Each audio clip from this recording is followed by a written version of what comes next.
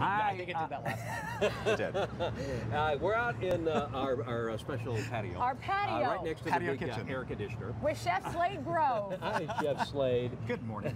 and we're making um, lovely Thanksgiving recipes, but Yeah. we're using butternut squash It's all butter, in a different way. It's all butternut squash centric, you Okay. know. And uh, yeah, I got a phone call. Well, actually, an email yesterday about 5 a.m. from you know who. She's like, "Can you come tomorrow and make something pumpkin or butternut squashy?" I'm like, "Sure." well, I, So- I, I, I love butternut squash, I do so too. any way to use it, I do am too. I'm game. And you know, I yesterday, I- so I ran over to Bashas', and they've got organic butternut squash on sale for like 99 cents a pound. Mm-hmm. Amazing. So, and then one pot method. okay. And I, I don't want to sound like an info commercial, but I literally was able to roast the butternut squash in my Ninja cooker. I No kidding. sauteed the leeks in the Ninja cooker. Okay. And then I made the soup in the Ninja cooker. Wow. It's so crazy. I never thought it would bleed. So, so you don't way. forget, act before So- midnight tonight. Act before midnight tonight. I, I literally didn't believe the info commercial, but Okay. it is true. How Okay. does it So- start out then? So basically, all you're going to do is roast your butternut squash. Right. Um, and you can either buy it cubed now.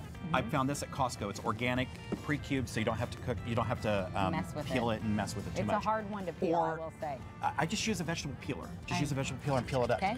Then um, take some leeks. Don't be afraid of a leek. It's like an overgrown green onion. You're going to cut the big portion off because you're not going to use these, or you can save them for a stock. Maybe if you're going to make a vegetable stock or something like that.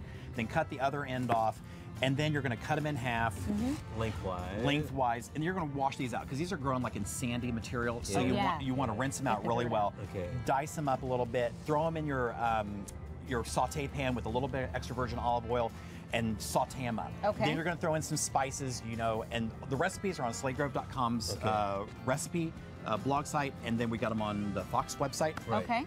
And you're going to do some chicken stock and some brown sugar, and then your butternut squash that you've already roasted in the oven. Little Oh, half I just half. want you to just smell so And a little doggone half and half. Doesn't it? Now, Yeah. then you're going to take a bowl. Yeah. Okay. That's a square bowl. Is it? If it's square, still called a bowl? Yeah, it's still called a bowl. okay. We're getting fancy for That Thanksgiving is so here. cool. Yeah, Love that. Square bowl. Oh, that's- then you're gonna make some candied bacon. Th- No way. Come on. Everything's bacon centric. Okay. So pre-cook your bacon, but don't cook it till it's brittle. Okay. Take a little bit of brown sugar, a little bit of cayenne pepper, and a little bit of uh, black pepper. And you mix that in with the brown sugar. Yeah, with the brown sugar. that. Yeah, yeah. So you're going sweet Then and salty with me. pop it in the I oven. Like it. For at 375 degrees for about five minutes. Then you end up with these lovely bacon strips. Look Oh my. And is that what you top it? And that's Oh, what you serve it yeah. How cool is So that? you have Okay. this and the soup and the bacon. okay. Okay, here.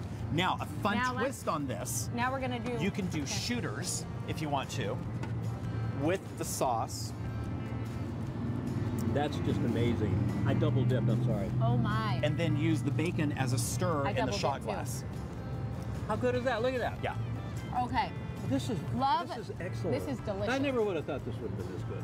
What are you so doing? I'm not like a squash guy. Now, I don't want to run out of time. What are we continu- doing for the dessert? continuing our butternut squash theme, we can make no baked butternut squash cheesecakes. Okay. Okay, we individual serving go. We have like 40 seconds, 30 seconds. All you got to do is graham crackers, butternut squash with a little bit of cheese, uh, cream cheese. Okay. That's and it? then cheese creams And like pumpkin pie spice or something? Or and no? just a little bit of nutmeg, cinnamon, and clove.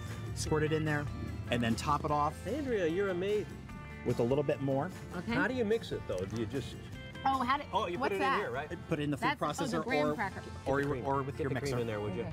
Uh, Andrea, you amazing. I made- oh, yeah, little, right. little bit of fresh nutmeg right on top.